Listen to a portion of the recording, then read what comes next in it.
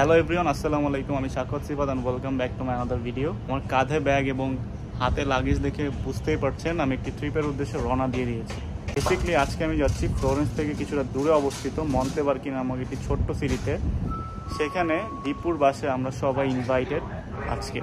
এখন আমি দাঁড়িয়ে আছি লাসপেজিয়ার মিলেনিনা স্টেশনে এবং এখান থেকে আমার ট্রেন মন্তেবার্কিতে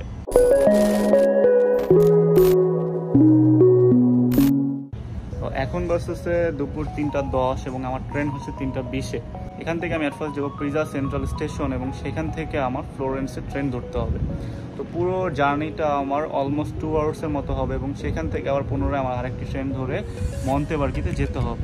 আজকে ওয়েদারটাও খুবই সুন্দর, আপনারা দেখতেই পাচ্ছেন খুবই সানি একটা ওয়েদার একটু লেট হয়ে গিয়েছি আমার আগে অলরেডি আদিল চলে গেছে দীপুর বাসায়, সে অলরেডি এখন ফ্লোরেন্স পৌঁছে গিয়েছে।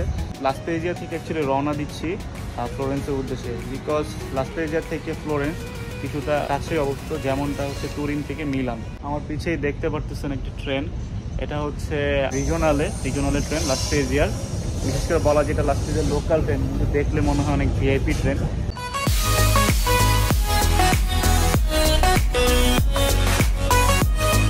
আমার ট্রেনটা হচ্ছে রিজনালে ভ্যালোচে এখান থেকে পিজাতে যেতে হবে রিজনালে ভ্যালোচে ট্রেনে করে এবং সেখান থেকে পুনরায় আরেকটি ট্রেন ধরে আমি যাব হচ্ছে ফ্লোরেন্স তো আপনারাও আমার এই ব্লগের সাথে থাকুন এবং আমার সাথে আপনারাও পাশাপাশি ট্রিপটি এনজয় করুন।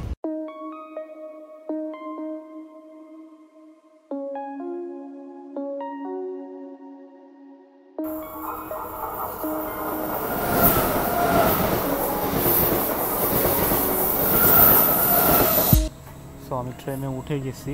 আর ট্রেনটা বেসিক্যালি সাত মিনিট অ্যাকচুয়ালি লেট করছে।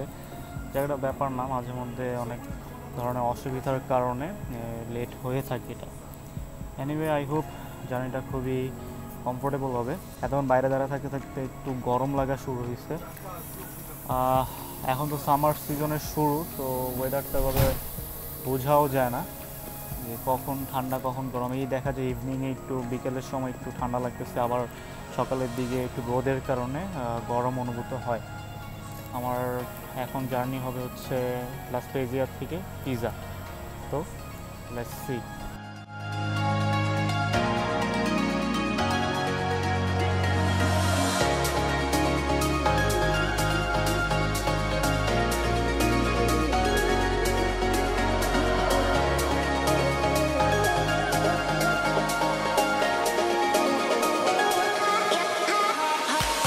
ট্রেনে যাওয়ার পথে আপনাদের যে জিনিসটা সব থেকে বেশি মুগ্ধ করবে সেটি হচ্ছে পাহাড়ের দৃশ্য।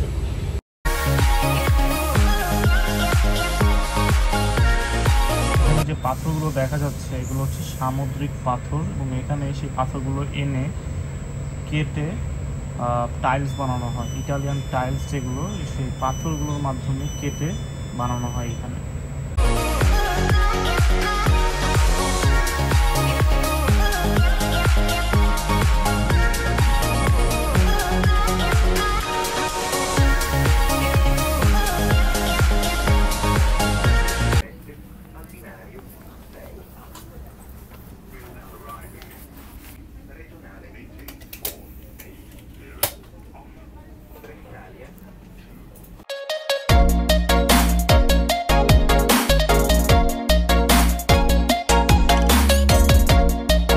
এসেছি ফ্লোরেন্সে। ফ্লোরেন্স, সান্তা মারিয়া নোভেল্লা স্টেশনে দাঁড়িয়ে আছি। আমার নেক্সট ট্রেনটা হচ্ছে ছয়টা পনেরোতে মন্তেবার্গের উদ্দেশ্যে। আমি ভাবছিলাম যে পাঁচটা পঁয়তাল্লিশে একটা ট্রেন ছিল, সেটা আমি ধরবো। বাট আমার পিজার থেকে যে ফ্লোরেন্সের ট্রেনটা ছিল, ওটা একটু ডিলে করছে। দ্যাটস ওয়াই আমি ট্রেনটা এক মিনিটের জন্য মিস করছি। তো এটা কোনো প্রবলেম না। কিছুক্ষণ পরপরই ট্রেন আছে। তো আমি নেক্সট ট্রেনে যাব এবং নেক্সট ট্রেন হচ্ছে ছয়টা পনেরোতে। বড় একটা শহর স্টেশনে আসলে বোঝাই যায় যেটা আসলেই বড় একটা শহর। কারণ হচ্ছে এখানে প্রচুর মানুষ দেখা যাচ্ছে আর স্টেশনটাও অনেক বড় কম্পারেটিভলি লাস্টেজিয়া অলমোস্ট তুরিনের মতোই। বাট এখানকার অর্গানাইজেশনটা আরও বেটার তুরিনের থেকে। তো ভালোই লাগতেছে এখানকার স্টেশনটা। অ্যান্ড ফ্লোরেন্সে আমার এটা ফার্স্ট টাইম আসা।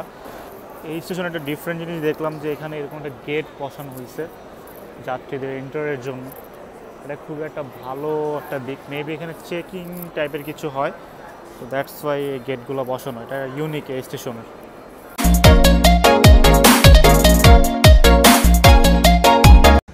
আমার ট্রেন চলে আসছে আমি ট্রেনে উঠে বসলাম মাত্র।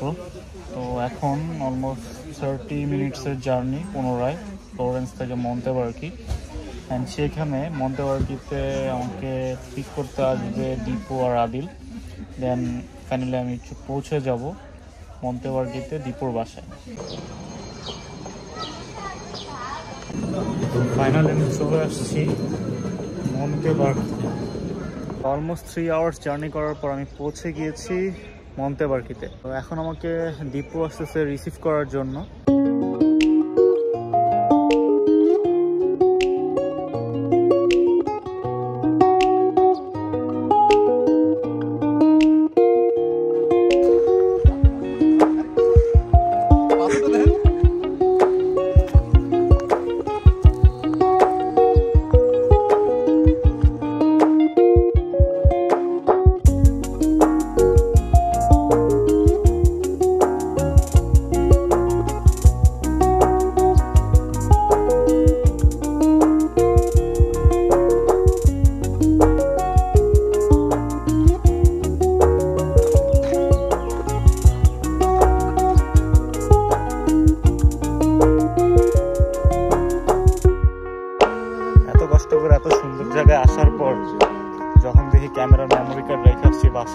বাসায় কীরকম ফিলিংস হইতে পারে একটু বুঝানেন এই ক্ষেত্রে সব জাস্ট লাস্ট ভরসা হইতেছে ফোন ফোনের ক্যামেরার উপর তখন কিছু হয় না। সো ব্লগিং এর ক্ষেত্রে আবারও প্রমাণিত হলো যে পোর্টেবিলিটির উপর আর কিছু নেই। এসব এসব তিন লাখ টাকা চার লাখ টাকার ক্যামেরা দিয়ে কিছু হয়.